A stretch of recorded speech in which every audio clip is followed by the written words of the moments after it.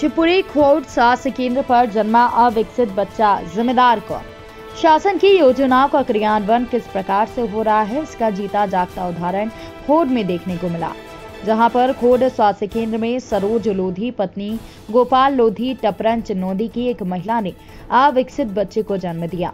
जिसे देखकर स्वतः ही पता लगता है कि चिन्नोदी क्रमांक एक आंगनबाड़ी कार्यकर्ता के द्वारा किस प्रकार अपनी ज़िम्मेदारी का निर्वहन किया जा रहा है और किस प्रकार से जच्चा बच्चा का ध्यान रखा जा रहा है। इसके चलते इस प्रकार के अविकसित बच्चों का जन्म हो रहा है।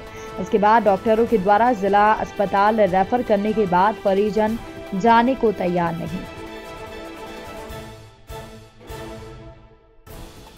तो आप साढ़े नौ बजे से अभी तक शिवपुरी के लिए क्यों नहीं गए हैं? जब आपको रेफर के लिए बोला गया था?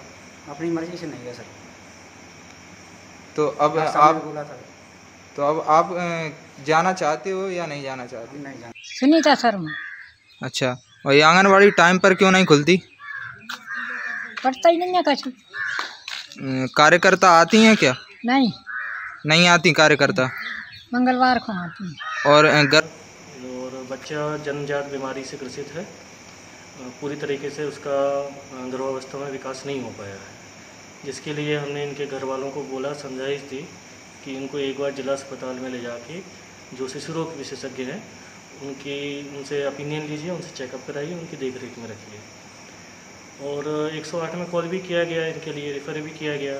पहले ये बोल रहे थे कि ठीक है, चले जाते हैं हम। बट बाद में इन लोग का माइंड चेंज हो गया। बार बार हमने चार पाँच बार इनको समझाई थी कि भाई, जो भी ईश्वर की देन है, इनको जाके एक बार दिखा हुआ लेकिन उनके माइंड में कुछ और ही चल रहा था, बता भी नहीं रहे थे क्यों? उनको फिर दोबारा समझाइश दी है अभी फिर से हमने बुलाया कि अभी भी देर नहीं हुई है, अभी भी आप ले आके उनको दिखाओ। अभी भी 108 एंबुलेंस यहाँ पर आ जाएगी।